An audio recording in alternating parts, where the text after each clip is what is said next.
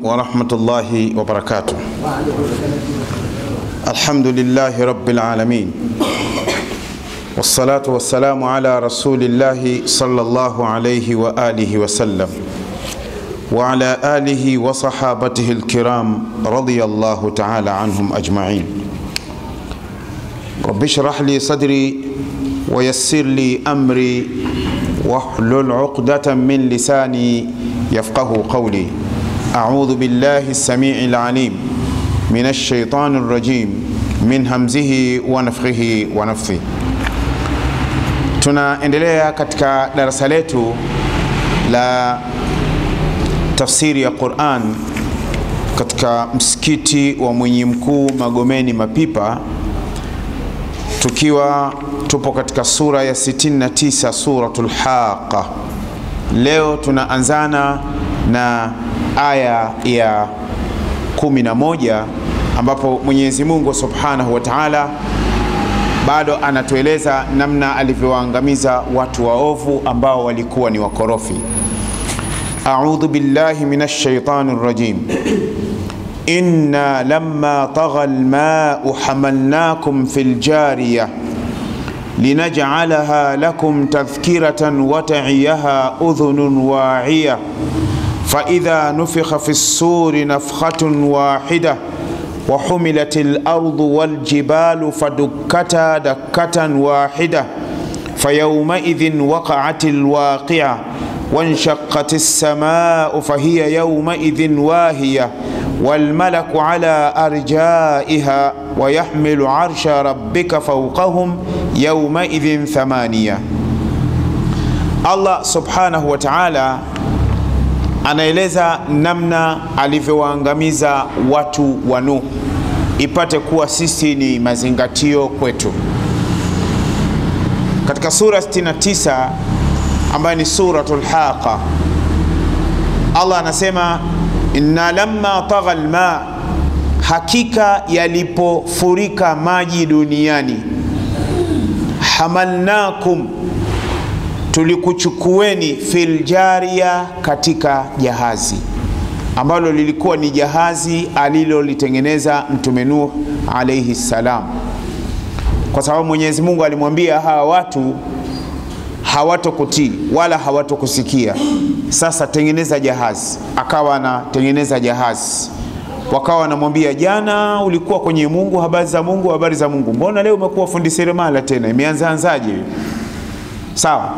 Sasa Nuhu alikuwa anaambia kama mnanicheka basi na mimi ipo siku nitawacheka. Sasa Allah anasema inna lamma tagha alma hamalnakum fil jariya. Qurtubi akasema ay irtafa wa ala. Qala Ali radhiyallahu anhu, Ali anaitafsiri aya anasema tagha ala khuzanihi min almalaikati ghadaban li rabbih falam yaqdiru ala habsihi ali anasema tagha ala khuzanihi, maji yalipopewa amri na mola wake kwamba maji ya ardhini tokeni na maji yaliyoko juu shukeni. Tagha ala khuzanihi, yale maji yalikuwa mazito na yalikwenda yakawa na jeuri kwa wale wasimamizi wa yale maji katika malaika, ghadaban lirabbihi, hali ya kukasirishwa. Kwa nini? Mwenyezi Mungu ameasiwa. Falam yaqdiru ala habsihi, wale malaika hawakuweza kuyaziwia yale maji, sababu maji yalikuwa yamekasirika. Mwenyezi Mungu alitoa maji ya, alitoa amri maji ya, juu yashuke na maji ya chini yakawa yametoka. Kwa hiyo mito, mabahari, maziwa, chemchem vyote vikafurika. Kwa hiyo taghal ma irtafa, maji yaliponyanyuka yalinyanyuka kiasi ambacho yakawa dunia nzima yamefurika. Qala Abdullah ibn Abbas, Abdullah ibn Abbas anasema tagha almau zamanu Nuh ala khuzanihi fakathura alaihim falam yudriku kam kharaja walaysa min almai قطرة tanzilu qablahu wala بعده illa bikailin maalumin ghairu dhalika alyawm. Ni kwamba Abdullah ibn Abbas anasema maji yalijaa duniani, yalifurika duniani kipindi cha Mtume Nuhu alayhi salam, kiasi ambacho yakajaa na wakawa hawakuweza kuyaziwia. Kabla ya hapo, malaika walikuwa wanajua kila tone linalokuja duniani, wanajua kiwango cha lile tone lakini siku ile ya mafuriko ya mtume Nuhu alaihi salam, wale malaika walishindwa kuyaziwia kiasi ambacho wakawa wamehemewa. hamalnakum fil jariya, nilikuchukueni nyinyi katika jahazi. Kwa nini Mwenyezi Mungu anasema nilikuchukueni? Je, wakati huo kizazi hiki kilikuwa hakipo? Wanaambiwa Makureishi ambao walikuwa wanampinga mtume sallallahu alaihi wasallam kwamba nyinyi vizazi vyenu nyinyi vimetoka katika wale niliowaokoa katika jahazi la mtume Nuh, kwa sababu mtume Nuh alayhi salam, baada ya hapo kuna wale ambao aliwaambia pandeni kwenye jahazi. Wakapanda, ambao inasemekana waliomtii mtume Nuh alayhi salam kwamba ni mtume wa Allah na wakafanya maovu walikuwa waka, samani wakafanya mambo mema walikuwa ni watu laki moja na nusu peke yake. Miaka takriban miaka mia tisa na hamsini. Watu laki moja tu na nusu waliosalia wakawa wamekwenda mpaka mkewe Nuh alayhi salam, ni kwamba alikuwa vile vile ni katika wapinzani wa mtume Nuhu alayhi salam. Sasa Mwenyezi Mungu subhanahu wa taala akawa amewaangamiza kwa adhabu hii. Alipoangamiza kwa adhabu hii, Allah anasema inna lamma tagha alma, Muhammad wakumbusha wa Quraysh wanaokukataa kwamba wewe sio mtume wa Mungu, wanakuasi, wanaona kwamba hayo unayosema ni yako. Hamalnakum fil jaria, waambie vizazi vyenu nyinyi, babu babu babu babu mababu vibabu. Tuliwachukueni katika wakati wanaokolewa wale, nyinyi mlikuwa katika migongo yao, hatimaye kizazi hichi kikaja kikazaliwa. linajaalaha lakum tadhkiratan, tumeyafanya haya ili ipate kuwa ni mawaidha kwenu. Tadhkiratan ni ukumbusho kwenu, wataiyaha na yazingatiwe haya maangamizi, udhunun waiya, na sikio lenye kuzingatia. Sasa Allah subhanahu wa ta'ala aliposema namna hii, asema linajalaha lakum tadhkirata. Qurtubi akasema yani safinata Nuh alayhi salam jaalaha Allahu tadhkiratan waidhatan lihadhihi lumma hatta adrakaha awailuhum fi qauli Qatada. Qatada anasema kuna baadhi ya watu katika umma huu waliliona lile jahazi la mtume Nuh alayhi salam, linajalaha tath, lakum tadhkiratan. Qurtubi akasema yani safinata, Mwenyezi Mungu aliacha jahazi la Nuh. Tadhkiratan, kuwa ni ukumbusho kwenu, waidhatan na ni mazingatio lihadhihi lumma, kwa umma huu, hata adarakaha awailuhum, mpaka wale wa mwanzo wao kabla ya nyinyi Makuraish, vizazi vilivyotangulia wameyakuta, kwa sababu umati Muhammad peke yake ndio ulikuwa na umri mfupi sana, lakini umma zilizokuwa nyuma hao walikuwa wanaishi mpaka miaka mia nane mpaka miaka elfu moja na. Sasa, ina maana wale ambao walioanzana mwanzoni mwishoni mwishoni walikuja kuliona lile jahazi la mtume Nuhu alaihi salam. Qala Ibnu Jurayj, Ibn Jurayj anasema kanat alwahuha ala aljudiyi, mbao za lile jahazi la mtume Nuhu lilibakia katika mlima wa Judi, ambapo inasemekana wallahu alam ni mlima uliopo mpakani, ambapo mwa Iraq na unakuja kuitafuta Uturuki.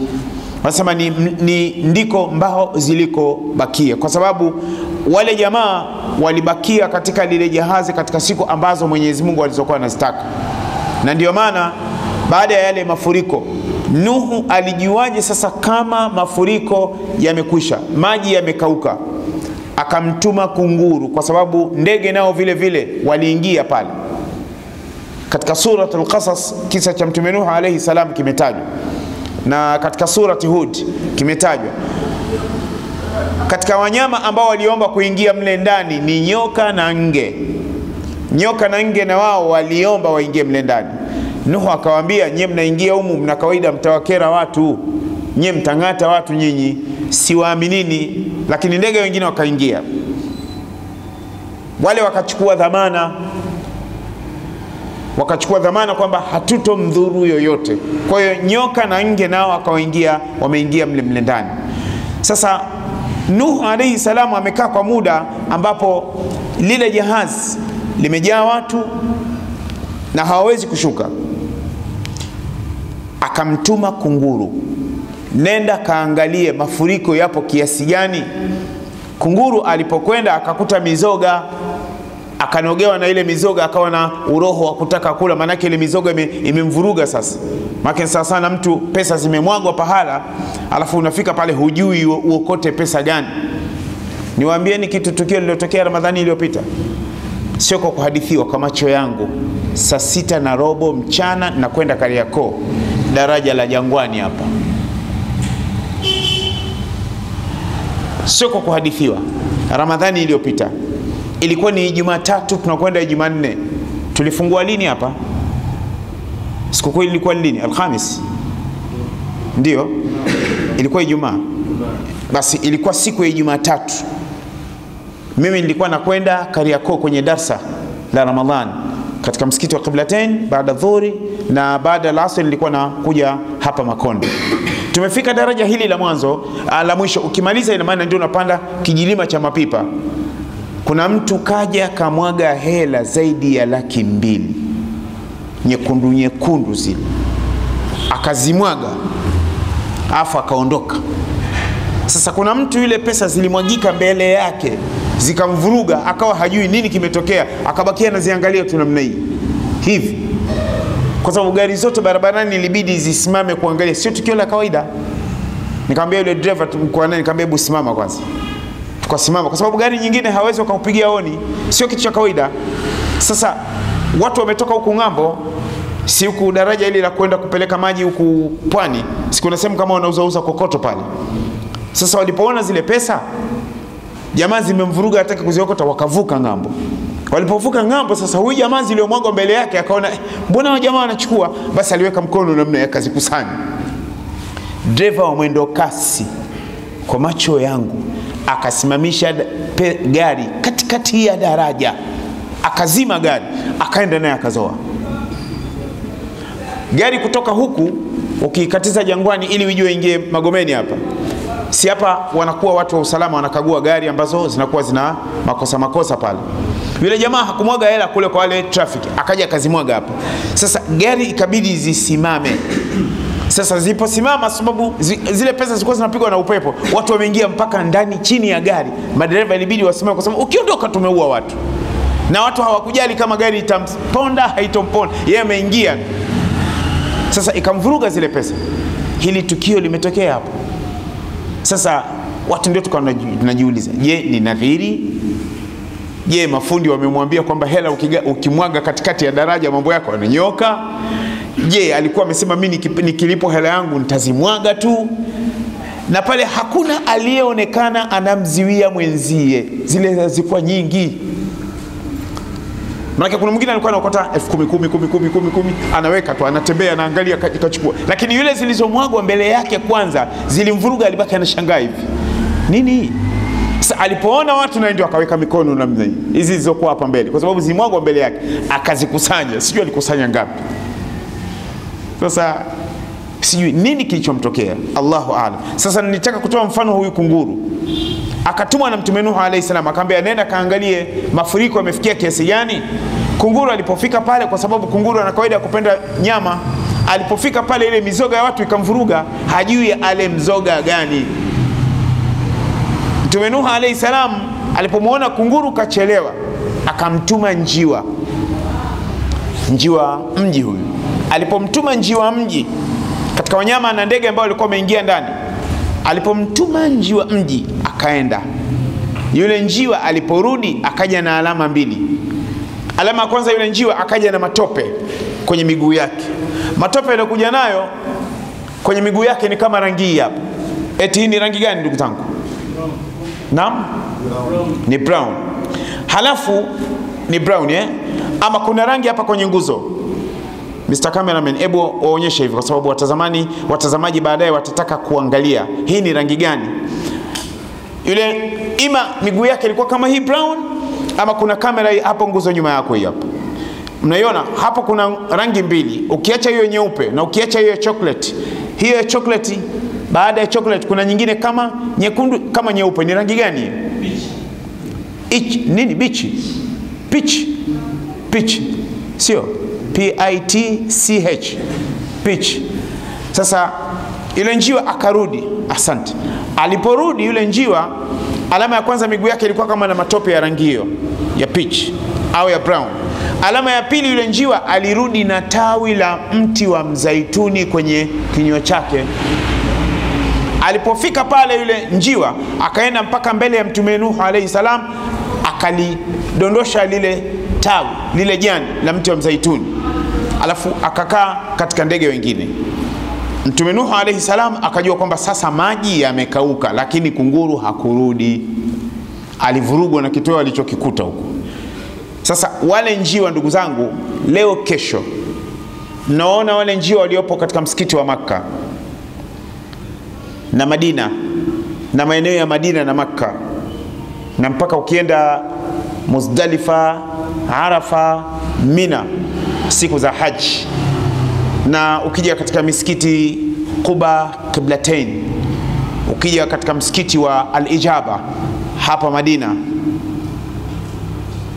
na ukija katika msikiti wa Al-Ijaba hapa Maka, ni kwamba wale njiwa, Allahu aalam, inasemekana baadhi ulama, baadhi ya wanachuoni, baada ya kuwafuatilia wale njiwa, wanasema ni kizazi kinachotokana na yule njiwa kutoka katika kizazi cha Mtume Nuhu alayhi salam. Hiyo ni kauli ya kwanza, lakini kauli ya pili wanasema, ambao ni kauli sahihi, wanasema njiwa wale wanatokana na kizazi cha wale tairan ababil ambao walikuja pale Makka, walikuja kule Mina, Muzdalifa na Mina kwa ajili ya kumziwia Abraha ambaye alikuwa anakwenda kuivunja Alkaaba.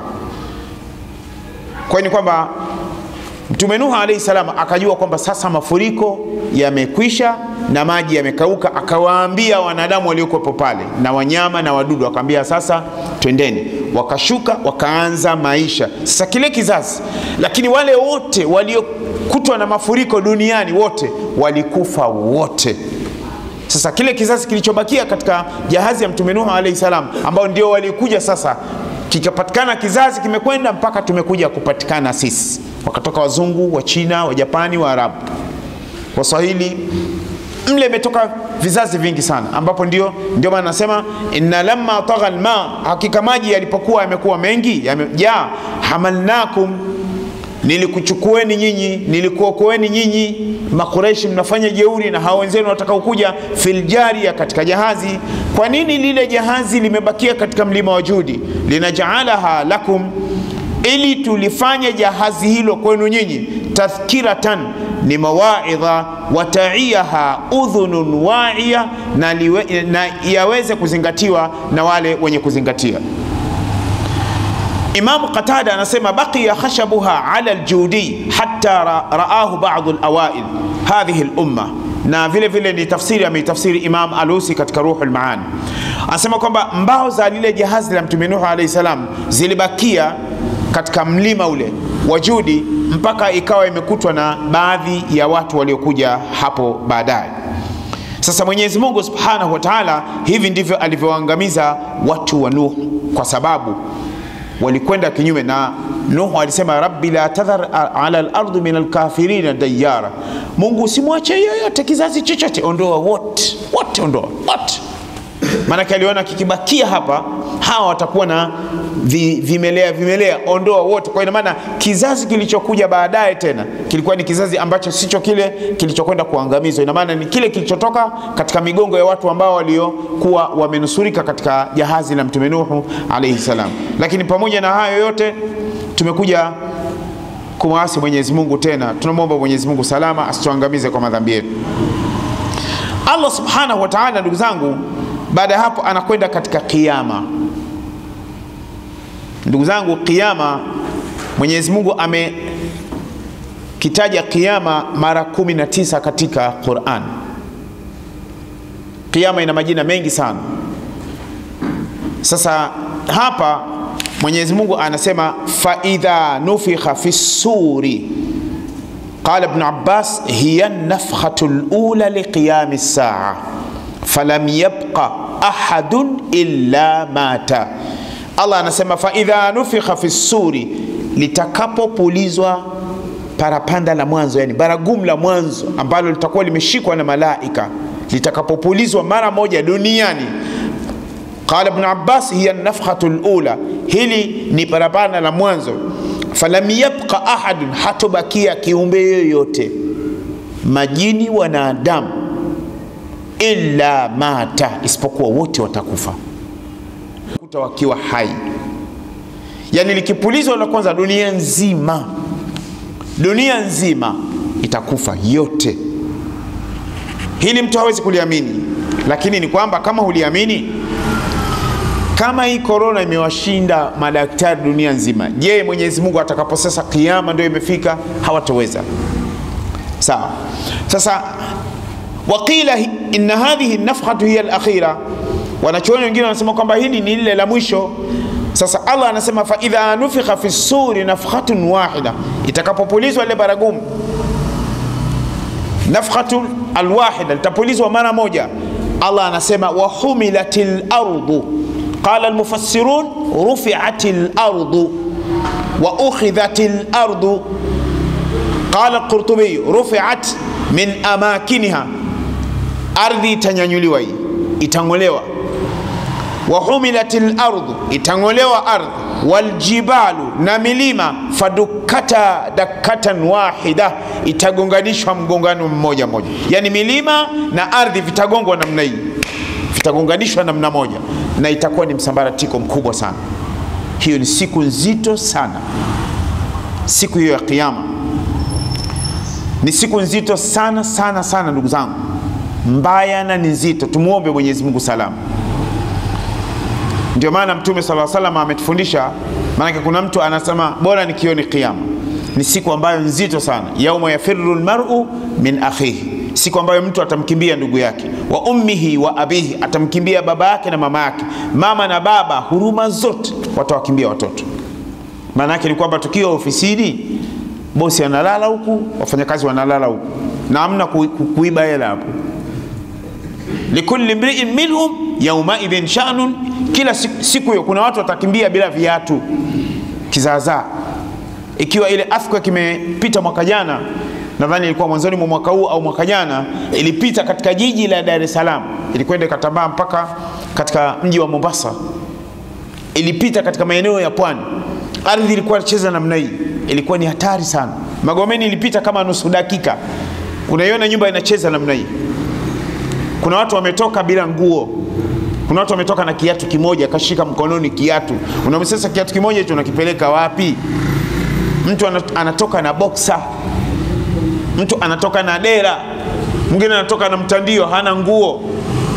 Hiyo ni earthquake, imepita tu na imeshaondoka, na kiama yenyewe bado. Sasa Allah anasema wahumilatil ardu rufiatil ardu, itakaponyanyuliwa ardhi, waljibalu, na mi, na milima fadukata. Qala Alqurtubi futita wa kusirata, itasagwasagwa na itavunjwavunjwa. Hiyo ni siku ya Kiyama, dakatan wahida, yani itapigwa mara moja tu. Hii ni ardhi, hii ni milima, inagongwa namna moja, pap inasagika na sio kama ni milima peke yake, humo kuna watu, kuna wanyama, kuna wadudu, mali zote, dhahabu zote, ikulu zote duniani zitafutika. Maeneo ya ulinzi yote ambayo yanalindwa kwa kamera yote, kamera zenyewe zitapasuka. fadukata dakatan wahida. Allah anasema fa yaumaidhin, hiyo siku yenyewe waqaatil waqia, ndiyo kitakaposimama kiyama. Wanshaqat lsama, na mbingu zitapasuka. Qala Alqutubiyu instadaat watafattarat waqila tanshaqu linuzuli ma fiha min almalaika. Wanshaqat lsama, mbingu zitachanika. Fahiya hiyo siku yaumaidhin, fahiya yaumaidhin, hizo, hizo mbingu siku hiyo wahia, zitakuwa ni nyonge sana. Mbingu itakuwa ni kitu dhalili sana kuliko maji. Wanshaqat sama, mbingu zitapasuka. Walmalaku ala arjaiha, na malaika watakuwa wapo pembezoni. Ala arjaiha, watakuwa pembezoni mwa zile mbingu. Wayahmilu arsha rabbika, na arshi ya mola wako siku hiyo ya Kiyama vitu vyote vitapasuka, lakini arsh faukahum wayahmilu arsha rabbika faukahum yaumaidhin thamania, siku hiyo arshi ya Mwenyezi Mungu itakuwa imebebwa na malaika wanane, na arshi ni kubwa kuliko dunia. Ukiichukua dunia yote ukaiweka na arshi sawasawa na sindano kuitupa baharini, lakini itakuwa imebebwa na malaika wanane. Viungo vyao vipo vipi hawa jamaa? Hawajaenda jimu. Mi na wewe mpaka tupige jimu Jumamosi, Jumapili tuamke oyo oyo oyo oyo oyo oyo, sukuma sukuma sukuma sukuma, piga nyuma nyuma nyuma, piga nyuma. Yani hawaendi jimu wale, ni Mwenyezi Mungu amewaumba. Sasa ndugu zangu, msikilize Mtume sallallahu alaihi wasallam anaisifia siku ya Kiyama. Sikiliza siku ya Kiyama itakavyokuwa.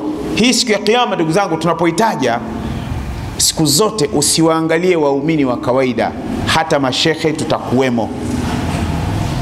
Mtume sallallahu alaihi wasallam ani Naaman ibn Bashir, imesimuliwa hadithi na Naaman ibn Bashir anasema, sami'tu Rasulullah yaqul, nimemsikia mtume wa Allah anasema hivi, inna ahwana ahli nari adhaban yaum alqiyama, atakayekuwa na adhabu nyepesi, kwamba huyo ndio afadhali siku ya Kiyama.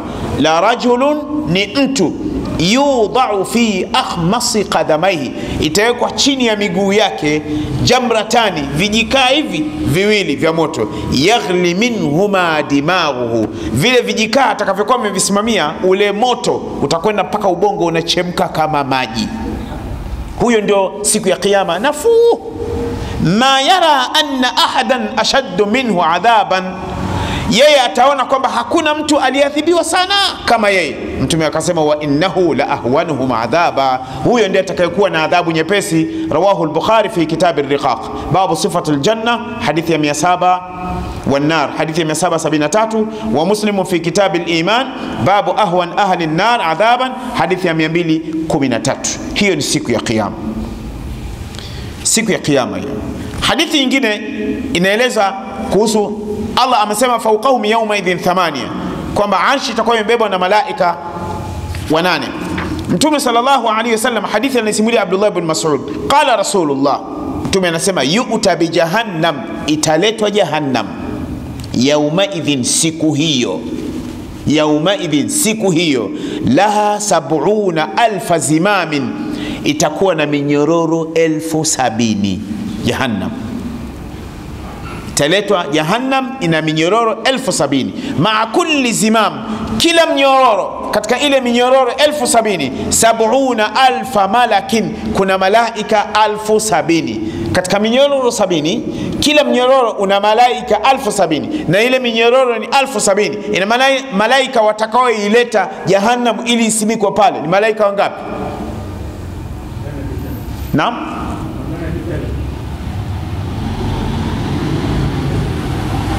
Arobaini na tisa elfu na si mtume anasema moto wa jahannam utaletwa una malaika sawa.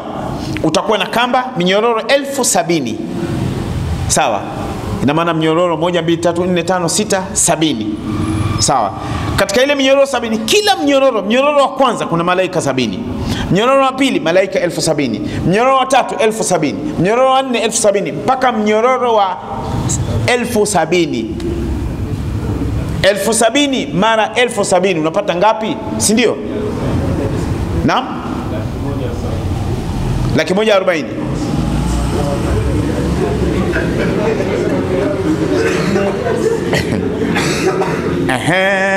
Hapo hapo ndio tunaona raha sasa. Tusiwalaumu watoto kwa kufeli somo la mathematics. Tumeelewana? Ni sahihi sahihi. Sisi wenyewe tuko taabani katika hesabu. Very simple. Hesabu ya kawaida sana. Sema hii toto bana, hii toto langu zembe kweli kweli, yaani hesabu linapata kumi. Wewe mwenyewe baba, vipi kwenye hesabu? itakuwa itakuwa milioni elfu itakuwa milioni 49 milioni 49 elfu malaika. Milioni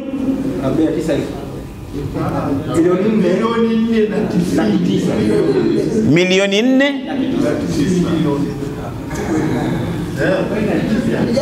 Milioni nne na laki milioni nne na tisini milioni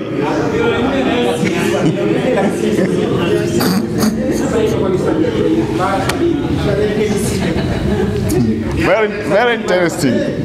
It's very interesting. Eh, unasemaje? mia nne na tisini kwa hiyo watakuwa malaika milioni mia nne na tisini ina maana ni tanzania mara ngapi?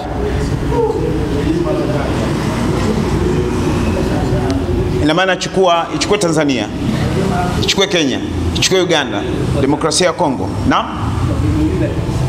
Milioni nne na laki tisa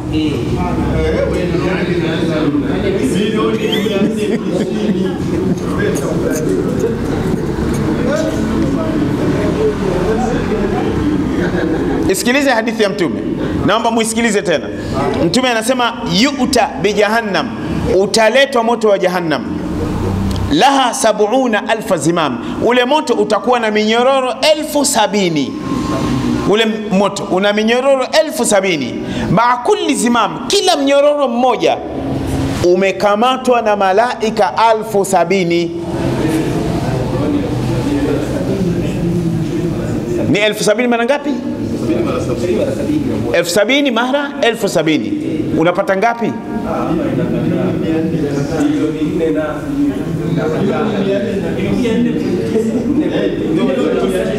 Ni m au b? Ni b. Kwa hiyo itakuwa bilioni nne. Yani ni bilioni nne na milioni eh. ni milioni mia nne na milioni mia tisa. Bilioni mia nne na milioni mia tisa. Ndio malaika watakaokuwa wanauleta wanaileta hiyo jahannam. Sasa mnasemaje ndugu zangu? Tutakuwa na hali gani? Minelo mali inatisha hiyo. Yaani mtu hawezi kuamini hayo ambaye asubiri uone si mtu hawezi kuamini asimama na hizo story tu. Hii itakuwepo. Tumeelewana? Haya. Hiyo hadithi rawahu muslim fi kitab aljanna wa naimuha babu fi shiddati harri nar wa bu'di qa'riha. Hadithi 2442 haya. Hadithi inayofuatia tena kueleza siku ya kiyama. Mtume sallallahu alaihi wasallam anasema minhum katika watu siku ya kiyama man taakhudhuhu naru wapo ambao wataingizwa na moto yani watavamiwa na moto ila kaabaihi mpaka sehemu ya socks. Sehemu hizi ya nini? Hivi vifundo vya miguu vya chini kuna watu ambao moto utawagusa sehemu hiyo. Mtume akasema wa minhum man taakhudhu ila rukbatai wapo ambao watakuwa wamesimama motoni mpaka kwenye magoti. Moto utakuwa unawaka kwenye magoti. Huku kote uko salama. Wa minhum man taakhudhu ila hujzati. Wapo ambao moto utakuja utawaunguza mpaka kiunoni kwake. Wa minhum man taakhudhu ila tarquwati, wapo ambao moto utawafika mpaka hapa kwenye koo. Sawa. Sasa mwingine utawafika kiunoni sasa hapa ina maana ukitoka hapa kiunoni kuna wengine utawafika mpaka hapa. Hii yote ni adhabu siku ya kiyama. Tumwombe mwenyezi mungu salama. Rawahu muslim hadithi amepokea imam muslim fi kitab aljanna wa sifat naimuha babu fi shiddati harri nar wa bu'di qahriha. Hadithi 2845 hadithi ya mwisho tumpe nafasi muadhin. Mtume sallallahu alaihi wasallam anasema tudna shamsu yauma alqiyama, litasogezwa jua siku ya Kiyama, min alkhalq, liwe karibu na wanadamu, hatta takuna minhum kamiqdari milin, mpaka lile jua litawasogelea kiasi cha maili moja, maili moja. Qala Sulaim ibn Amir arrawi an al-Miqdad. Sulaim ibn Amir ambaye alikuwa anasimulia hadithi kutoka kwa Miqdad sahaba akasema, fa wallahi, na apa ma adiri ma yani bilmil alikuwa anamaanisha nini huyu Miqdad aliponsimulia kwamba ni mail? Amasafatul ard? Je alikusudia ni masafa ya ardhi umbali wa ardhi? Amil mila alladhi tuktahalu bihi lain, ama alikusudia itakuwa kiasi kama kijiti ambacho anachokitumia mwanamke kujipakia wanji. Mtume akasema fayakunu nnasu ala qadri amalihim fil araq, watu watatokwa na jasho kulingana na matendo yao. Faminhum man yakunu ila kaabaihi, wapo ambao jasho litawatoka mpaka litafika kwenye sehemu ya kwenye nyayo kwenye, ma, kwenye fundo za nyayo. wa minhum man yakunu ila rukbatai, wapo ambao jasho litawameza mpaka kwenye magoti. wa minhum man yakunu ila hiqwai, wapo ambao jasho litawafika mpaka kwenye kiuno. wa minhum man yuljimuhu alaraqu iljama, wapo ambao jasho litawafunika. wa ashara Rasulullah, Mtume aliwaonyesha maswahaba biyadi, kwa mkono wake, ila fi, yani kuna watu wengine siku ya Kiyama jasho litatufunika mpaka hapa hiyo ni siku ya kiyama. Rawahu Muslim fi sahihi fi kitab sifat aljanna wa naimuha babu sifati yaum alqiyama, hadithi 2864. Hapa tunapata fundisho kwamba siku ya kiyama, ndugu zangu, ni siku nzito sana, hakuna ambaye atakayeiweza. Hadithi ya mwisho, Abdullah ibn Umar anasema yaqumu nnasu lirabbil alamin wanadamu wote watasimama mbele ya Mwenyezi Mungu siku hiyo ya Kiyama, hata yaghiba ahaduhum, mpaka atadidimia mmoja wake mmoja wao, fi rashihi, katika jasho lake. Yani mtu anadidimia katika jasho lake, ila ansafi udhnaihi, jasho litamtoka litajaa ardhini mpaka jasho linafika hapa, atabaki anaona, anaangalia tu hivi, jasho limefika mpaka hapa. Hiyo ni siku ya Kiyama. Sasa ndio maana Mwenyezi Mungu akasema fayaumaidhin waqaatil waqia, hiyo ndio siku Kiyama itakapokuwa imesimama. Karibu muadhin. Mtume sallallahu alayhi wasallam katika kuielezea ile siku ya Kiyama, Abu Huraira anasema kunna maa rasulillahi sallallahu alayhi wasallam, siku moja tulikuwa pamoja na Mtume sallallahu alaihi wasallam idh ghafla samia wajbatan, alisikia mlipuko pup. Wakati huo Madina bado kijimji kidogo sana, wakati huo sio kama sasa. Idh samia wajbatan, mtume alisikia mlipuko, yuko na masahaba.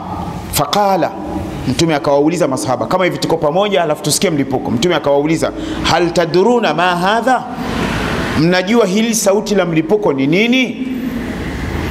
Qulna, tukamwambia Mtume, Allahu wa rasuluhu alam, Allah na mtume wake ndio wanaojua huo mlipuko ni nini.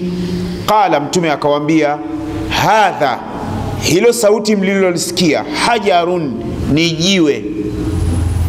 Hiyo ni sauti ya jiwe urumia bihi fi nnari, hilo jiwe lilitupwa motoni. Mundhu sabina kharifan, miaka sabini iliyopita lilitupwa miaka sabini iliyopita. Fahuwa, hilo jiwe yahwi fi nnari lan, hivi sasa ndiyo limefika motoni chini. Hatta ntaha ila qariha, mpaka limefika kwenye kina chake. Fasami'tum wajbataha, ndio mmesikia sauti lake. Rawahu Muslim fi kitabi aljanna wa sifatu wa naimuha wa ahliha, babu fi shiddati harri nar wa bu'di qariha wa ma ta'khudhu min almu'adhabin au mu'adhabin, hadithi 2844. Jiwe limetupwa linatembea miaka alfu sabini. Je, wale ambao watakaokuwa wanakwenda katika kina cha Jahannam ambacho ndio VIP yao, daraja la chini kabisa, watatembea muda gani mpaka kuweza kufika kule? Laha sab'at abwab, Jahannam ina milango saba. Sasa kama ju, jiwe limetupwa miaka sabini iliyopita na haijulikani lilitupwa mwaka gani, mwezi gani, Mtume hakuwatajia mwezi, akaambia ni miaka sabini iliyopita. Kwa hiyo hiyo ni siku ya Kiyama ambayo inatusubiri mimi na wewe kwa matendo yetu mba, mabaya ama mema tutakayokuwa tumeyafanya. Allah atujalie katika watu wenye kufanya matendo mema.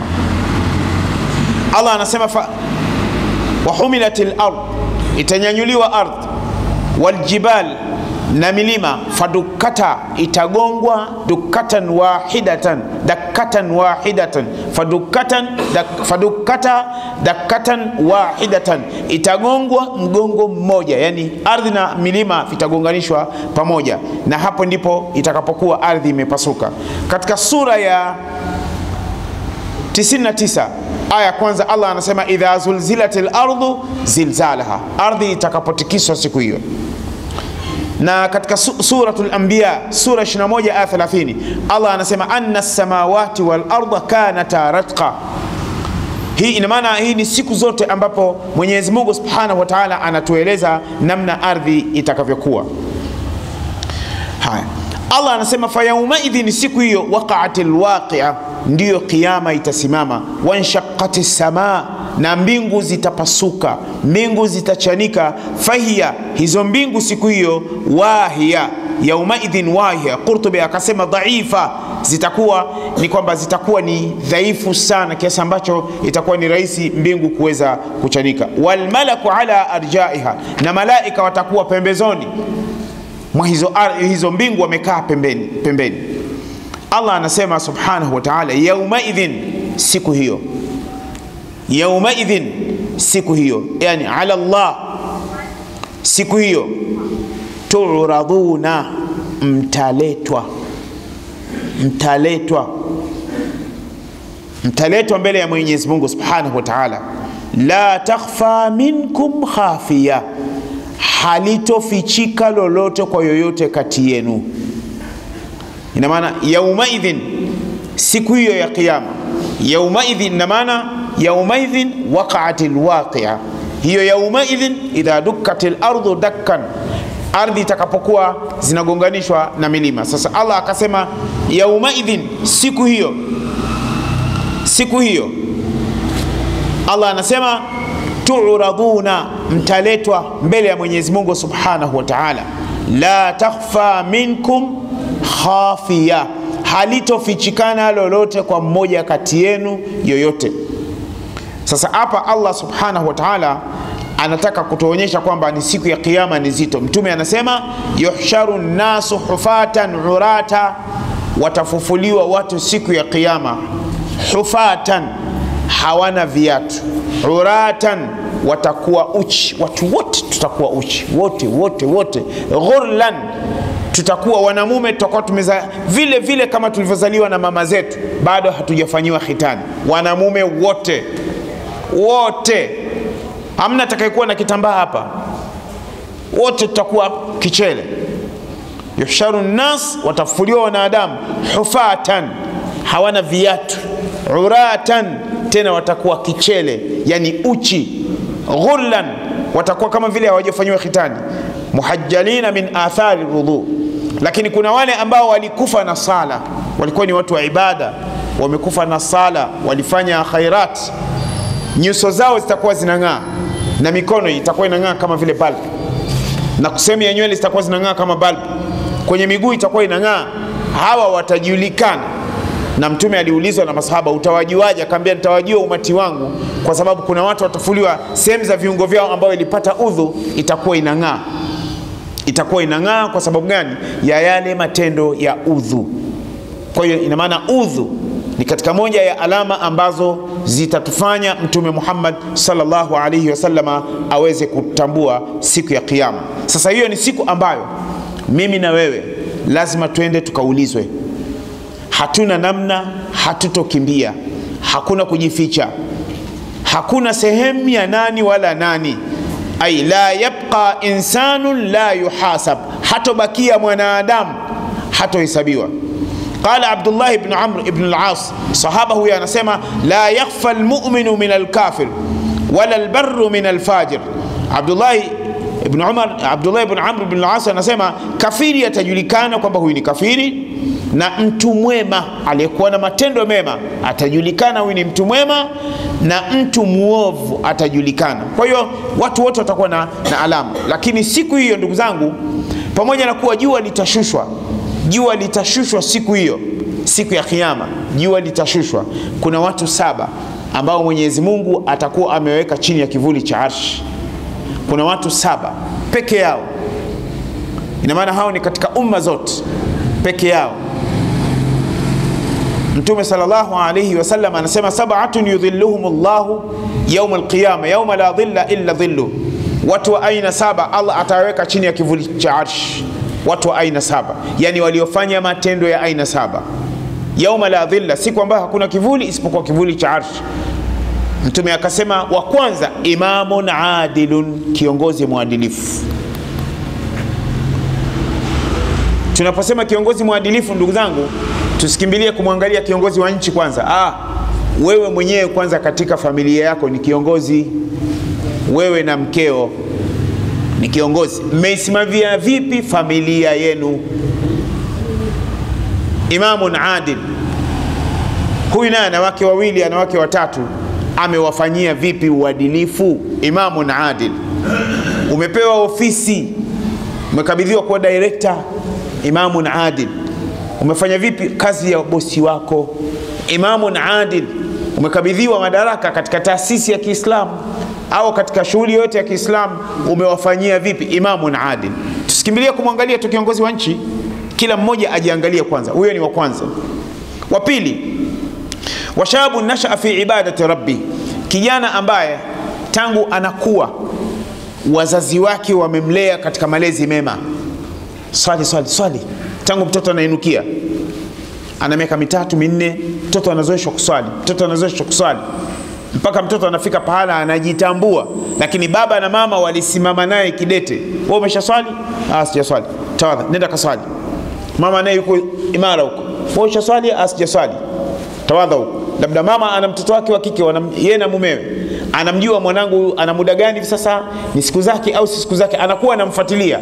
Kwa hiyo washabu nashaa fi ibadati rabbi, kijana ambaye amekulia katika makuzi ya kumwabudu mola wake, lakini ni kijana labda ameutumia ujana wake katika mambo ya ajabu ajabu, atakwenda kuulizwa mbele ya Mwenyezi Mungu Subhanahu wa Ta'ala. Watatu, wa rajulun qalbuhu muallaqun fil masajid, na mtu ambaye alikufa moyo wake unaning'inia msikitini. Sio kama unaning'inia kama taa namna hii, hapana. Ina maana muallaq, ina maana kwamba anafanya shughuli zake za maisha, lakini anajua mimi ninatakiwa muda wa sala ukifika nikasali. Niko ofisini, ikifika muda wa sali nikasali nipo kwenye kilimo, nipo sokoni, siyo, nipo shule, nipo wapi, nipo katika shughuli gani, ikifika muda wa kusali anasali. Ndio kalbuhu muallaq. Mtume amemfananisha kwamba mtu ambaye anayesali sala tano, ina maana kwamba hapa tukitoka sisi tumetoka viliwili lakini imani zetu zinaning'inia msikitini.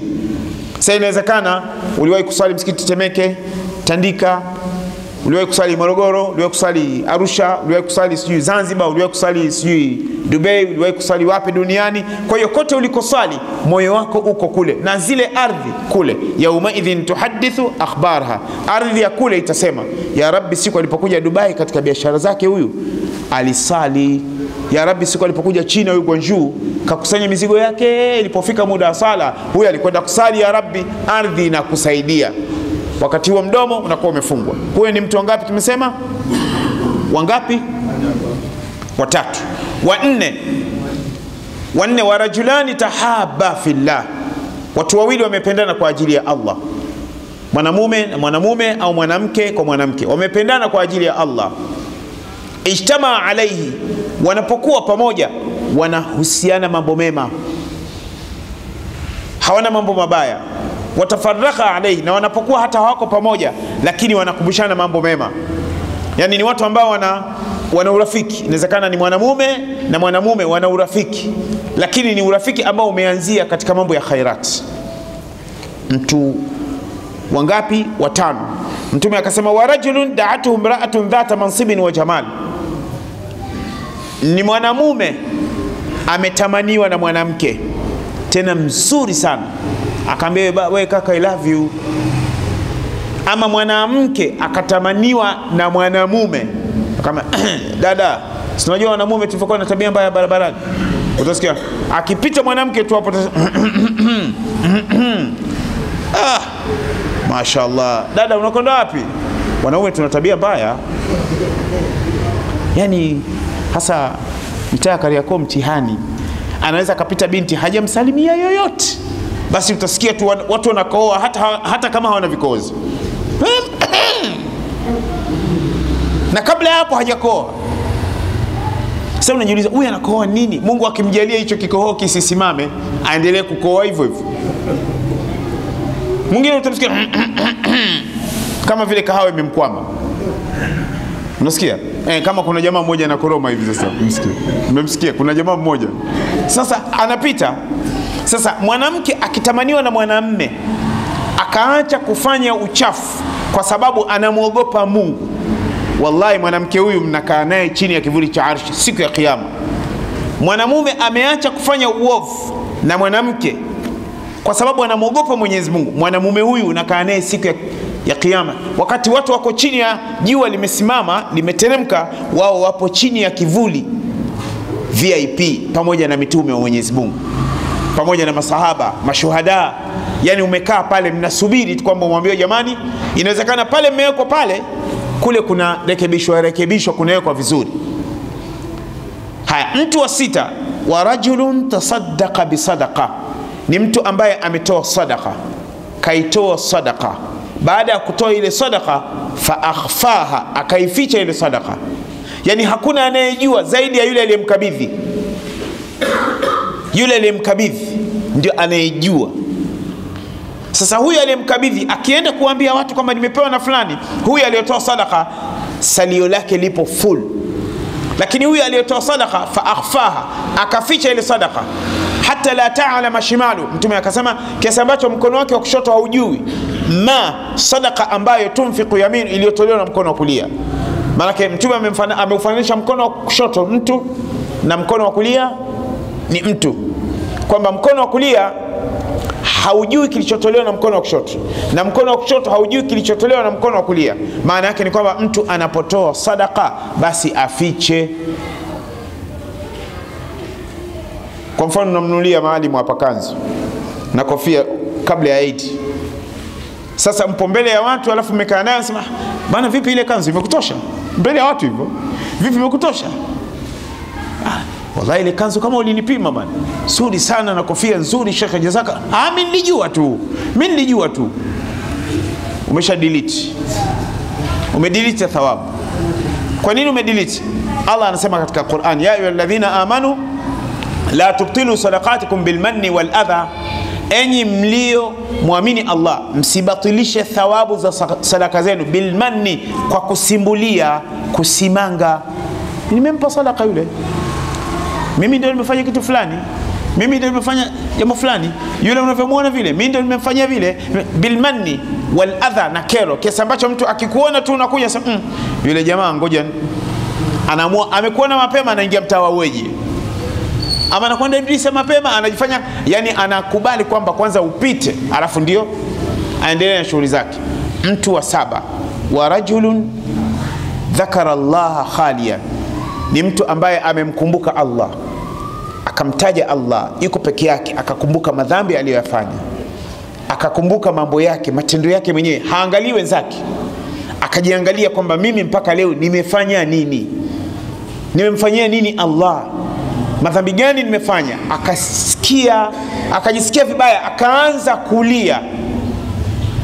Fafadhat aina, Mtume anasema macho yakatoka machozi. Huyu mtu Allah subhanahu wa ta'ala, hawa ni watu saba ambao watakuwa chini ya kivuli cha arshi siku ya Kiyama, wakati jua litakuwa ni kali sana. Jua litakuwa ni kali. Tumwombe Mwenyezi Mungu subhanahu wa ta'ala atujalie kila la kheri, atupe afya njema, atuondolee maradhi katika nchi yetu tuondolee maradhi katika majumba yetu, ayaondoe maradhi kwa wagonjwa waliopo mahospitali, Allah awape afya njema, na waliopo katika nchi mbalimbali, Allah aondoe haya maradhi kwa uwezo wake, kwa uwezo wake. Ndio aliobakia peke yake. Madaktari wamefeli tena division 0.0, madaktari wamefeli, hawauwezi ugonjwa huu. Kwa hiyo aliyebakia ni Allah. Tumwombe Mwenyezi Mungu Subhanahu wa Ta'ala atupe afya njema na atuondolee maradhi na atufungulie kazi zetu, riziki zetu. Mwenyezi Mungu awajalie wale ambao wanaofanya khairat, awape afya njema na wafungulie biashara zao. Kwa leo tunaishia hapa, insha Allah tutakuja kuianza aya kesho ya kumi na tisa. Tutaangalia wale ambao sasa siku ya Kiyama wanapewa madaftari ya matendo yao walioanza kuyafanya tangu wanabaligh, sababu siku ya Kiyama kuna watu watapewa madaftari kwa mkono wa kulia na kuna wengine watapewa madaftari kwa mkono wa kushoto. Sasa tutaangalia sababu ya kugawiwa kwa mkono wa kulia na kushoto, sababu yake ni nini? Ni hapo kesho Ijumatatu insha Allah, kwa uwezo wa Allah subhanahu wa ta'ala, na ni siku ya Jumatatu, ndio siku aliyozaliwa Mtume sallallahu alaihi wasallam na ndio siku ambayo aliyopewa mtume sallallahu alaihi wasallam, na ndiyo siku ambayo milango ya pepo huwa inafunguliwa, nafunguliwa Jumatatu na Alhamis, na ni siku ya Jumatatu alizaliwa Mtume kama nilivyoeleza, lakini ipo ndani ya mwezi mtukufu katika ile miezi minne mitukufu. Kwa hiyo katika hii miezi minne mitukufu, na kuombeni ndugu zangu Waislamu, kwa sababu miezi minne mitukufu ina utukufu wa aina ya pekee na wenzetu wema masahaba waliotangulia na waliokuja baada ya masahaba walikuwa mara nyingi sana katika ile miezi mitukufu na zile sehemu siku ambazo ni tukufu tukufu, walikuwa wanafanya khairati sana sana, na huu ni mfungo pili unaondoka, tumebakiwa na Ijumaa moja inayokuja ya mwisho. Kwa hiyo tujitahidi kila mmoja, mimi na wewe, kila mmoja tujitahidi, mwenye kuweza kusoma Qur'an mwenye kuweza kukithirisha kumsalia Mtume sala salam, mwenye kuweza kuleta nyiradi, fanya khairati za aina yoyote katika miezi mitukufu halafu tumuombe Mwenyezi Mungu Subhanahu wa Ta'ala atupe kila la kheri. Kwa hapa panatosha. Subhanaka Allahumma wa bihamdika nashhadu an la ilaha illa anta nastaghfiruka wa natubu ilayka. Alhamdulillahi rabbil alamin. Wassalatu wassalamu ala rasulillahi sallallahu alaihi wasallam. ربنا ظلمنا أنفسنا وإن لم تغفر لنا وترحمنا لنكونن من الخاسرين بسم الله ما شاء الله لا يسوق الخير إلا الله بسم الله ما شاء الله لا يدفع السوء إلا الله بسم الله ما شاء الله ما كان من نعمة فمن الله بسم الله ما شاء الله لا حول ولا قوة إلا بالله يا لطيفا بخلقه يا عليما بخلقه يا خبيرا بخلقه يا لطيف ألطف بنا يا لطيف ألطف بنا يا لطيف ألطف بنا اشف مرضانا اللهم اشف مرضانا الذين في المستشفيات اللهم اشف مرضانا الذين في العيادات. اللهم اشف مرضانا الذين في المستوصفات. اللهم اشف مرضانا مرض كورونا. وسلم مواطن ومقيم تنزانيا من مرض كورونا. يا رب العالمين. اللهم ارفع عنا الداء والبلاء والوباء والمحن. يا رب العالمين. اللهم إنا نعوذ بك من البرص والجذام والجنون ومن سيء الأسقام. وصلى الله وسلم على سيدنا محمد وآله وصحبه وسلم. سبحان ربك رب العزة عما يصفون. وسلام على المرسلين. والحمد لله رب العالمين.